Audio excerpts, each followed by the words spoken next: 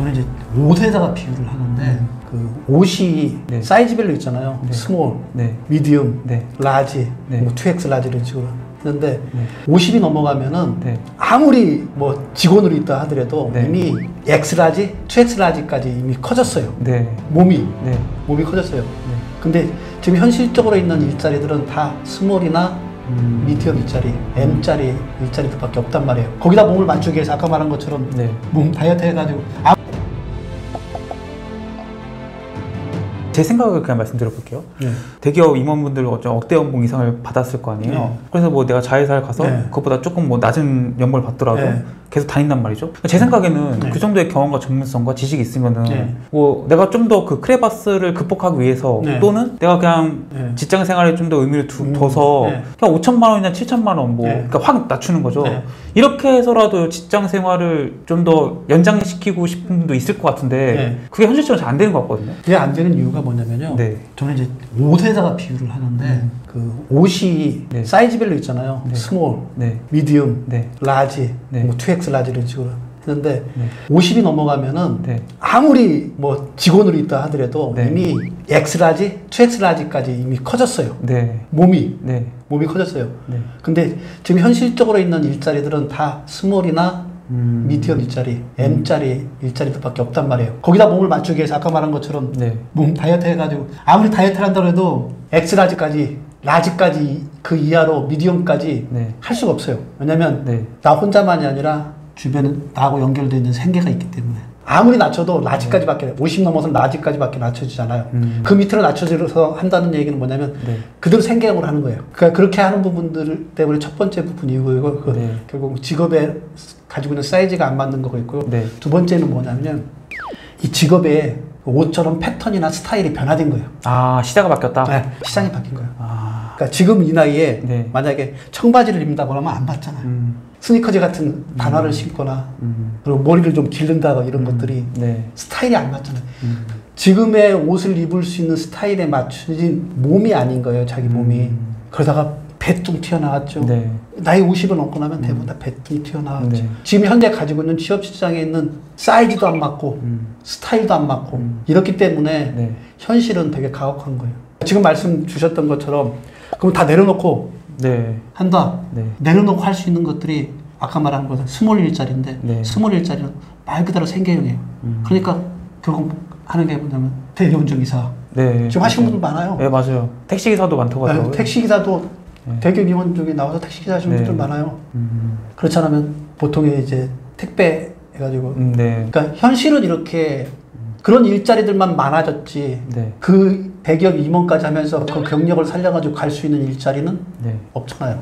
책에는 그런 얘기는 안 했는데 사실은 네. 재취업을 한번 해보려고 했었어요. 어, 어느 시기예요? 책이 뜨기 전에 아니면 뜨고 나서? 뜨고 나서 뜨고 나서? 뜨고 나서 네. 왜 하려고 그랬냐면 네. 그때 와이프가 네. 그 와이프가 암에 이제 걸리면서 아, 네. 암에 걸리니까 와이프가 네. 내가 암에 걸려가지고 네. 이렇게 있는 시기에는 당신이 좀 안정적인 직장에서 조금이라도 돈을 벌더라도 안정적인 직장에서 몇 년까지는 했으면 좋겠다. 네. 60세까지 할수 있지 않냐. 네. 그래서 4, 5년이라도 좀 했으면 좋겠다. 네. 그래가지고 내가 재취업을 하려고 입사 원서를 냈어요. 음, 네. 안 됐어요. 그 입사 원서를 낼 때말 네. 그대로 네. 내 몸값을 갖다가 완전히 바닥으로 네. 다 내리고서 했는데도 안 되더라고요. 서류 탈락을 하신 건가요? 면접까지 갔어요. 어. 면접까지 갔는데는 안 되더라고요. 네. 그리고 음. 그쪽에서 질문하는 내용들이 네. 이 일에 대한 것들을 음. 하실 수 있겠냐. 음. 그러니까 이제 본인의 아무리 의지가 있고 몸값 낮춰도 몸값을 낮춰도 뭐 사회적이나 주변의 그런 환경들이 벌써 일을 할 수 없어라고 아, 생각을 없- 하는군요. 없다고 규정을 짓기 때문에 음. 그 일자리가 없는 거예요. 음. 그러니까 자기가 찾고 싶어서 일자리를 찾는 것들은 네. 다 주변에서 열심히 해요. 네. 근데 안 된단 말이에요. 음. 그러다 보니까 이제 그게 1년이 지나면 그냥 더 이상 이제 네. 취업이라는 시장에서 1년까지 취업의 시장에서도 네. 면접이라도 보고 오게 하는 건데 2년 지나고 나면은 임원이고 해서 음. 다 안 된단 말이에요. 그래서 그 우리가 흔히 생각하는 것처럼 그 네. 임원을 퇴직하고 나면은 뭐 돈도 있고 이렇다고 생각하는데 사실은 이 돈보다 더 훨씬 중요한 게 뭐냐면은 네. 뭔가 해야 될 일이 없었다는 것들이 음. 사람을 되게 비참하게 만들어요. 맞아요. 아침에 일어나서 가야 할 데가 없다는 것들이 50 이후에는 너무 비참하게 만들어요. 음. 그래서 제가 그때 그 사회적 죽음이라고 네. 얘기했던 이유가 그, 그 부분에 있는 거예요. 음. 근데 이것들이 네. 50 이후에 다 만나게 돼 있어요. 그러니까 그런 재난 같은 것들이 아, 50 네. 이후에 한 번에 온다? 한 번에 다 와요. 네.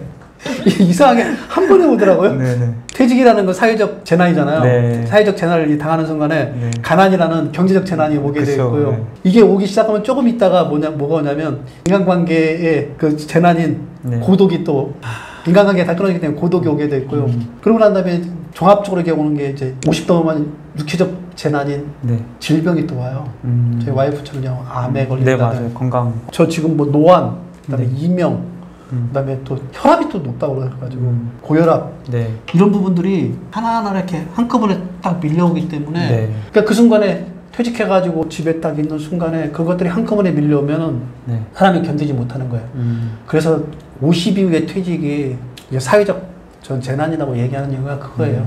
그게 한번 밀려오면 음. 네. 다른 걸 다 한꺼번에 다 끌고 오기 때문에. 음.